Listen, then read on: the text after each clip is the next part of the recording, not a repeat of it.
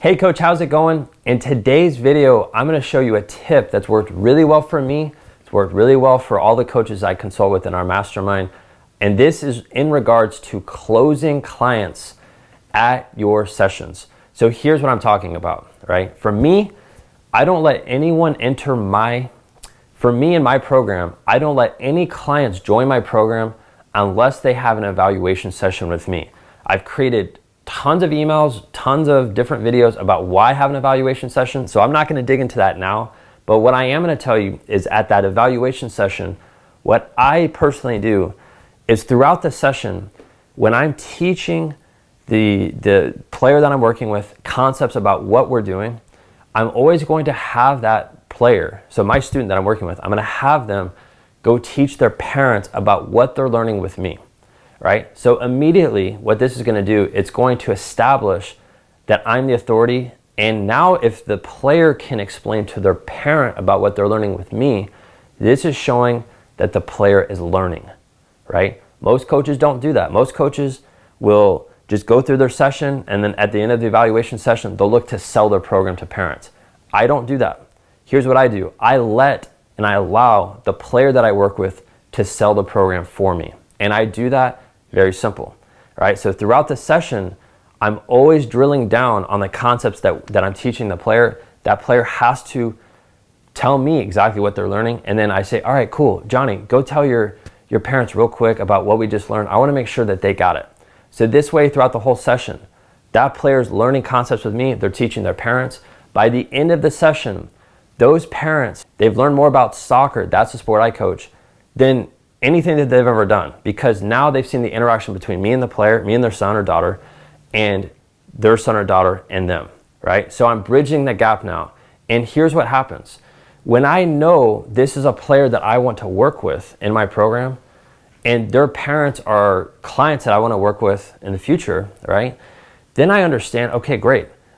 As long as I do well in the evaluation, as long as I'm teaching this player, as long as they're seeing good value, this player, if they are excited about my program, they are going to become a client without me having to sell anything. So at the very end of the session, here's what I do. I'll be talking to Johnny and I'll, I'll give Johnny a high five, congratulate him on coming to the first session. And I'll say, hey man, before we go, I want you to go teach your parents everything that you learned today. And then once you're done, just bring them back over to me and we can chat and then you can go home and we're done with our session, right? Here's what happens. Johnny will go talk to his parents for about five minutes again to reestablish that this is what he learned. He's going to show his energy that he really likes it.